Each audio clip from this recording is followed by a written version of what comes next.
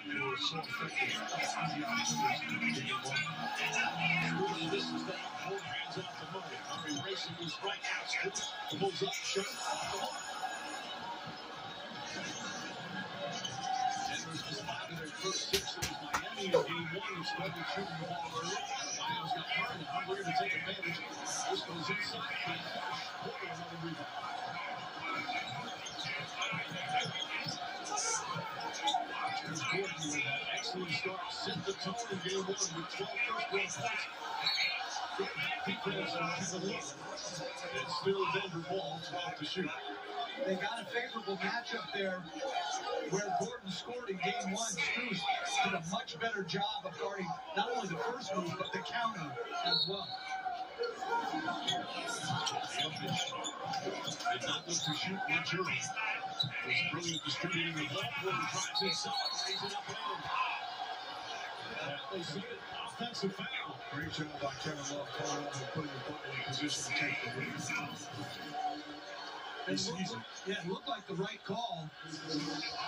He's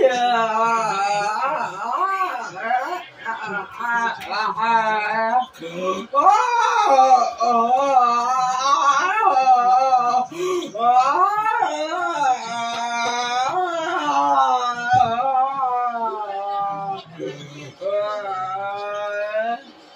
these staggered pick and rolls with all different combinations.